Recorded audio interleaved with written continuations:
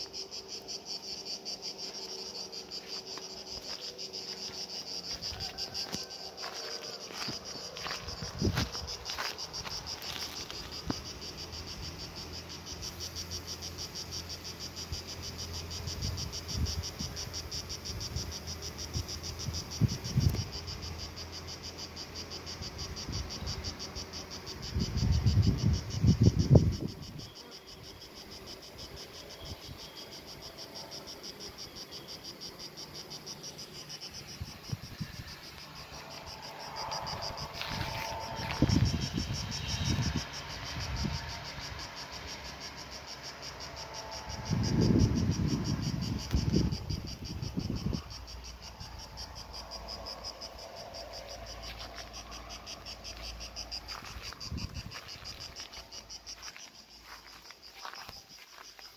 Και μια σφικοπαγίδα που βάλα εδώ πέρα για τις σφίκες. 9 σφίκες έπιασα μεγάλες.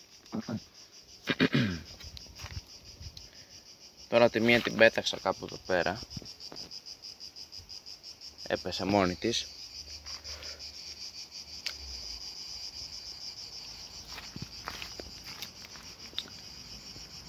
Λίγο γατό τροφή έβαλα λίγο κονσέρβα και λίγη κόλλα και αυτό. Να η κόλλα που χρησιμοποίησα. Demo Seed λέγεται. Ας την εκεί τώρα. και μύγες έπιασα όπως βλέπετε. Και μερμήγκια.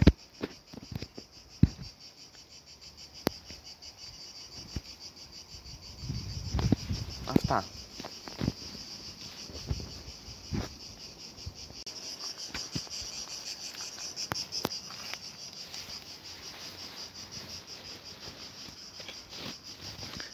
Προφανώς παίρνει πρόπολη τα γάντια μου.